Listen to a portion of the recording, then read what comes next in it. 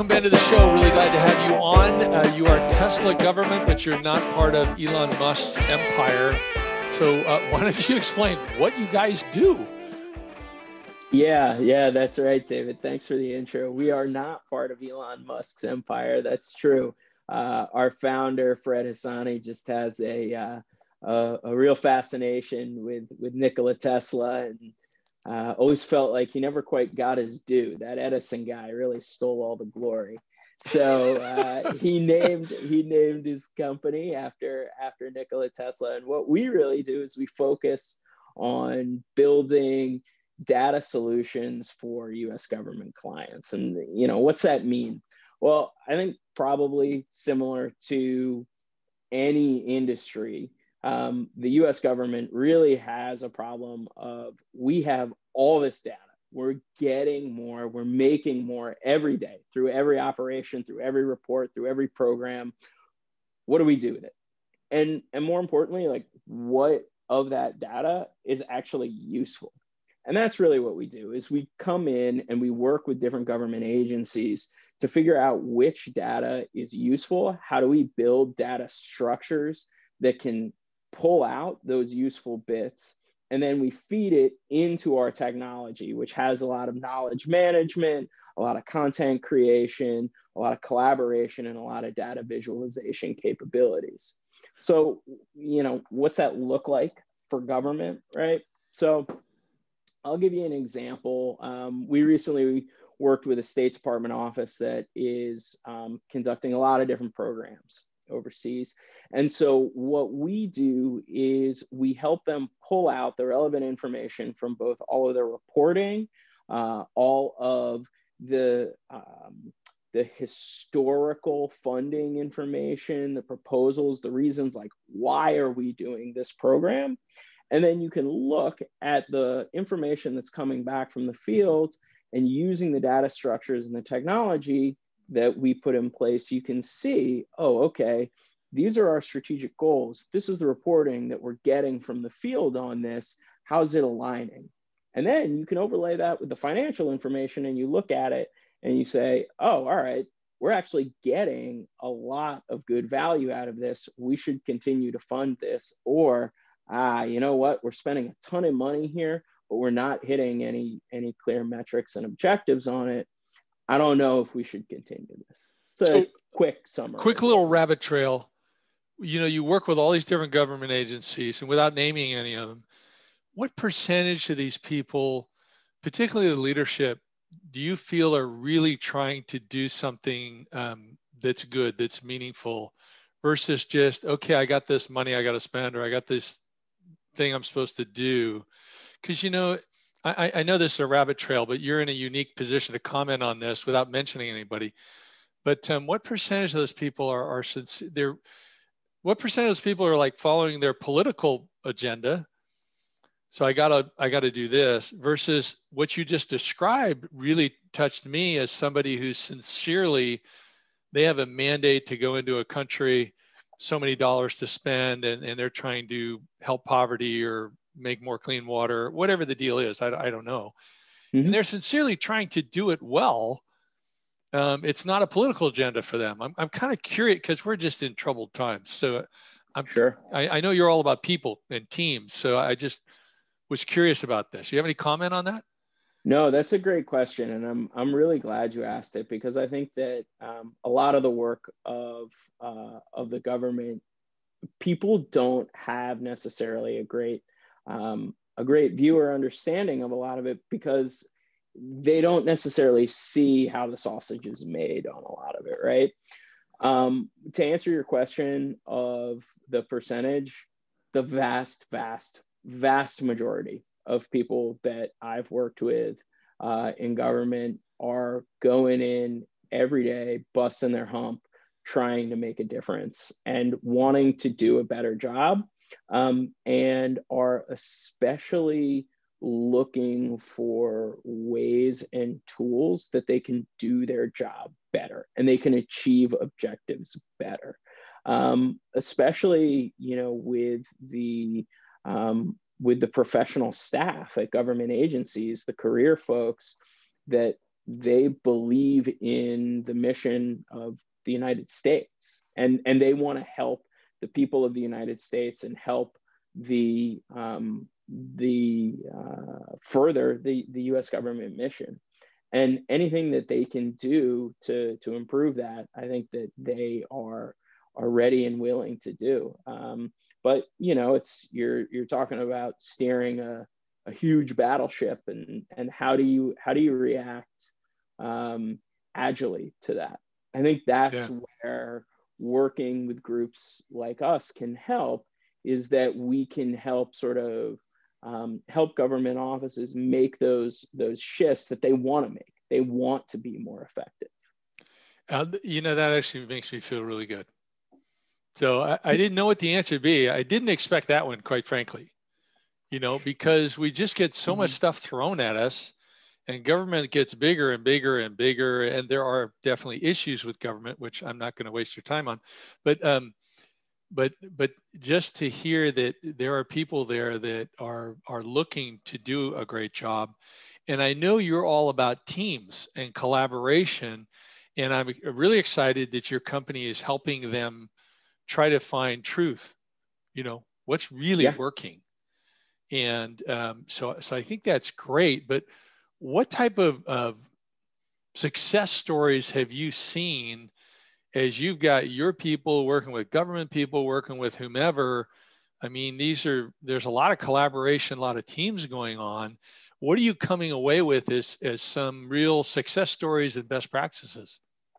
Yeah, I mean, I think as a general rule, and this goes for I think anyone that is working in sort of a collaborative client facing consulting based relationship is you really have to put yourself in the shoes of the people you're trying to serve. Um, and i think when we've had our best collaboration when we've had um, our most successful deployments uh, it has always started with um, understanding what their problems are, what their pain points are, what they're trying to achieve, and then also being realistic about what their operational environments are, right?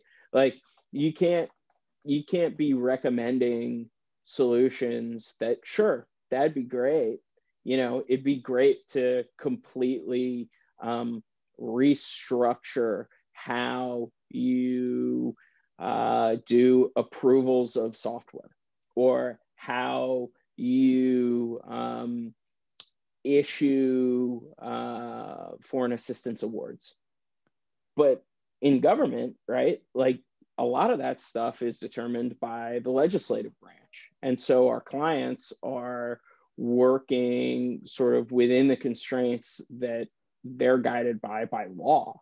And so how do you as a uh, as a solution provider come in there and figure out exactly um, you know what is a viable solution given the constraints they're under.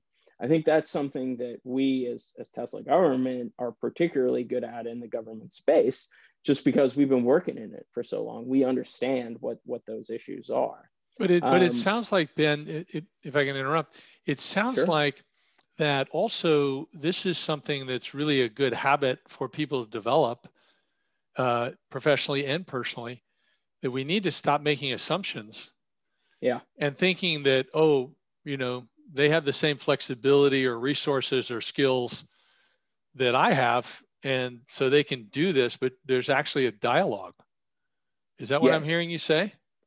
Absolutely, I think that eh, that an open dialogue in general is is critical to any good you know client relationship, um, and I think that you hit on a really good uh, point there with the assumptions of skill sets and um, how they fit together with different teammates, right? So if you're talking about you know how how we operate is we have on our on our staff sort of a multidisciplinary team and because we work with offices across the government what we find is that different offices will have totally different skill sets you know, there are dedicated offices within the government that are fantastic uh, geospatial analysts, for instance, right? These guys make the best maps. They're like world class ingesting geospatial data, rendering, finding key insights and analysis. Our team can do that. We probably don't need to bring that portion of our team to bear with these guys, right? Yeah, like, that's probably like telling them a little bit about what they already know. So I think the first step in any of that is understanding the team that you're working with. What are they really good at? And what do they sort of need some help with that can let them be really good at what they see themselves as? So, so how do you do that? Yeah. I mean, I think the first thing is understanding and asking them just directly like, what is success to you what do you, how do you measure your success what key policies are you trying to pursue and then go the next level down what by, by the way can, can you give me an example whether you've done this with a government agency or within one of your teams kind of walk sure. walk us through how that worked because i think a lot yeah. of people are like oh yeah no assumptions yeah we want to do that but they don't understand the step by step that you're starting to walk us through. So maybe if you gave them a an example, that would help. Sure. So in the in the government space, a lot of um, both different uh, high level organizations, right? So super high level organizations, cabinet level, DoD, Department of State, Department of Commerce, all of these, you know, um, organizations that have secretaries will have mandates, right? And they'll have they'll have policies. You'll see things like the national security strategy that comes out every year, and then in that it details out specifically what are these organizations responsible for in that. Then from under that, there's strategic level documents that say, okay, these subcomponents of these agencies are responsible for this. And then it, it goes all the way down to, you know, bureaus at the State Department, offices at DOD. And what you'll find, and what we've find found is that when you dig down in there, that oftentimes offices and these lower level components are working towards those goals.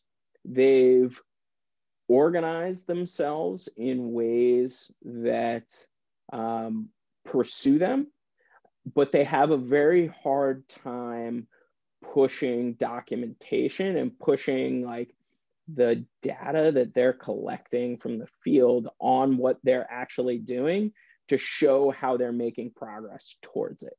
So, um, you know, if you're working with um, a, a specific office at the State Department, you know, how did they um, how do they collect their information so that it shows they're meeting the objectives laid out in uh, the FAM, which is the Foreign Affairs Manual that details specifically sort of like, okay, this office is, um, you know, is responsible for um, uh, we can say counterterrorism, economic development, and um, democracy building in X country or region.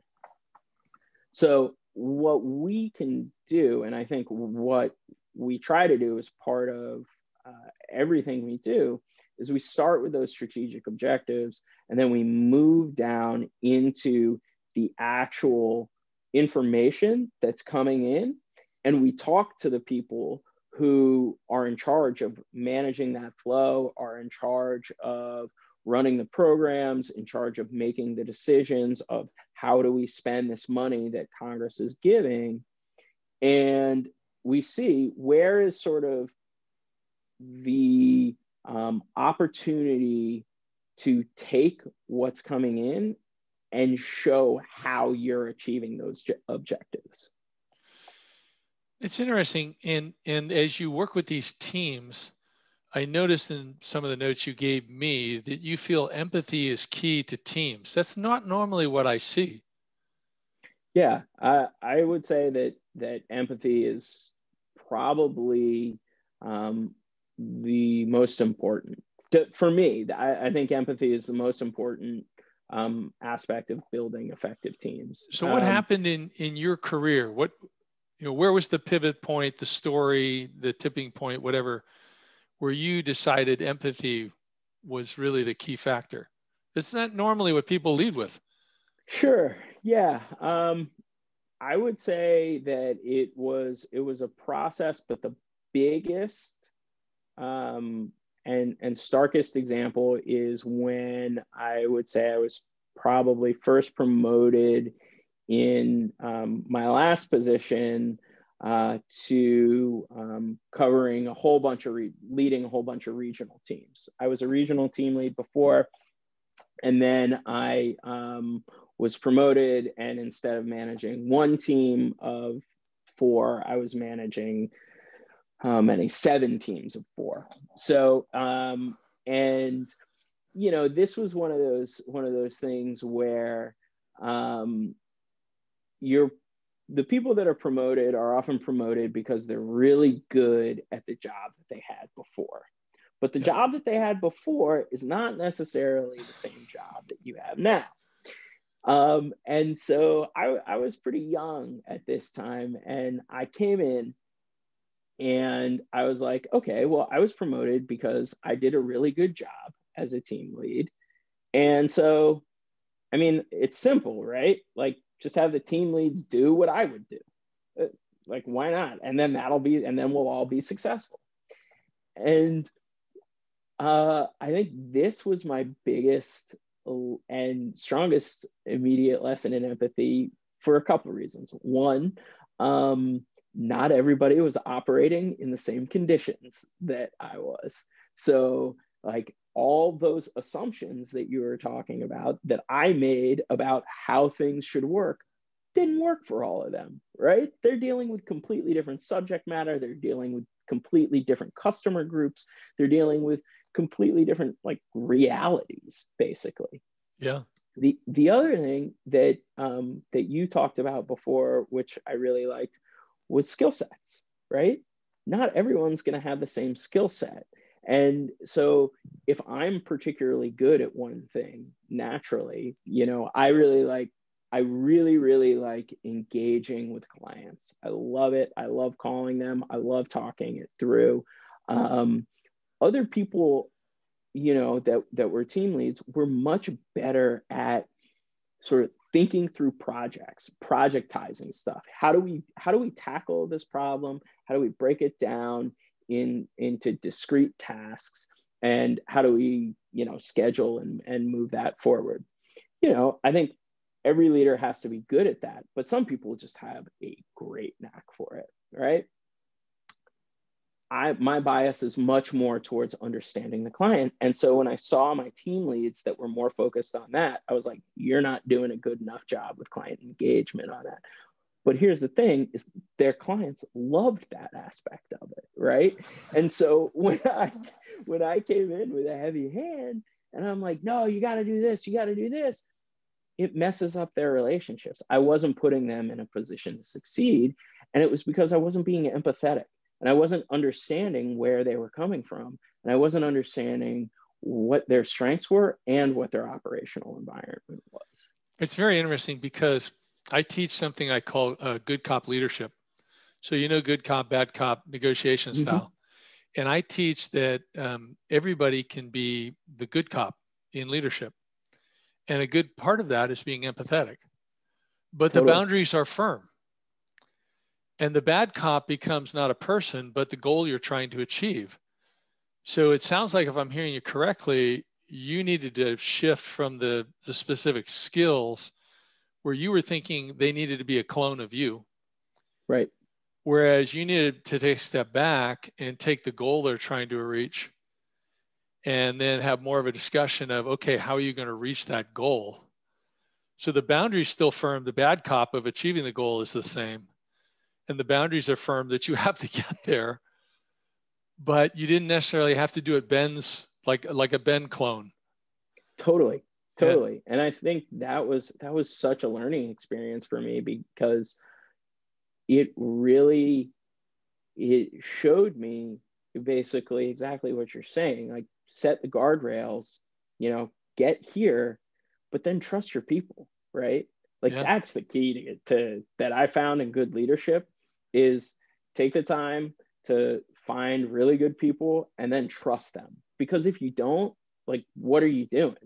You can't do everything right? Yeah. and and honestly a lot of them a lot of people are gonna on your team are gonna be better than you at specific things as a leader. And you trying to take over and manage that hurts your team and takes you farther away from that goal that you're trying to achieve what about those areas where they're weak and you know they may be aware of it may not be aware of it and you feel they they need to bring it up? What do you do there? Mm-hmm. i love the um, concept of failing safely here. Um, so what I try and do, say, um, you know, say that you have a member of your team that you really need to um, get better at giving presentations or demos, right? Find low threat ones where they can start and, you know, ones and twos where even though they're client, you know, they're client facing, um, or it's with clients that you already have, but it may be, you know, um, we do software you know we we build and deploy software and so a big part of what we do is demos of software and showing people how they can use it and so we'll do demos anywhere from like groups of 300 people that are attended by you know super high level government people to analysts on teams single analysts are like hey i want to know how i can use this find one of those opportunities that's one on one and sort of say, hey, you're leading this, you're on your own. It gives them the idea of, okay, I'm in front of, of a client. There's some stakes here. I don't want to mess it up. But at the same time, you know, if they stumble over their words or they mix up terminology about some of the software for this one person, they have that ability to have sort of a one-on-one conversation with it laugh it off make them feel like okay i can i can continue moving this forward and it there's not a huge cost but it's still client facing so you know you still want to get it right well so i want to clarify for the audience and also for myself so this person that you're saying okay it's yours go for it so do they have an example of someone doing the presentation well? Do they have the option of saying, I'd like to do some rehearsals with somebody? Do they, you know, what, what do you, or, or do totally. you kind of just throw them to the wolves? No, I think, I think, I think you always need to give, um, need to give people the tools they need to succeed. Right. So, yeah. um, you know, if this was the case, the first thing I would do is I would have them, if I was their immediate team lead and I was doing demos, or if there was someone else who was really, really good, I would say, hey, attend a few of this person's demos, see, see what they do, see how they handle some specific stuff, take notes. Um, usually we'll always have sort of a set of either talking points or a deck that you can run through, just sort of arming people with stuff, right? And so they can go from a template beforehand um, that they can that they can build on but ultimately you know you want to get them to to the place where the template's nice to have it's good but they can really take ownership of it and make it their own. Yeah so with this empathy thing and the freedom to fail so what about the what, what about when someone fails and you feel hey they should have caught that or they should have been better prepared in that area. They didn't maybe put in the time. Yeah. What, has that happened and what do you do? Sure sure i mean um, i think that in that in every situation um, that you need to have um, an organization and a team where feedback is uh, is integrated just as part of everyday work. Um, and people need to feel that um, that feedback, both going you know, from supervisor down. But also, I'm a big believer in 360 feedback in in sort of teammate to leader. Um, that there's an understanding and sort of a cultural acceptance of all feedback is about us getting better as a team.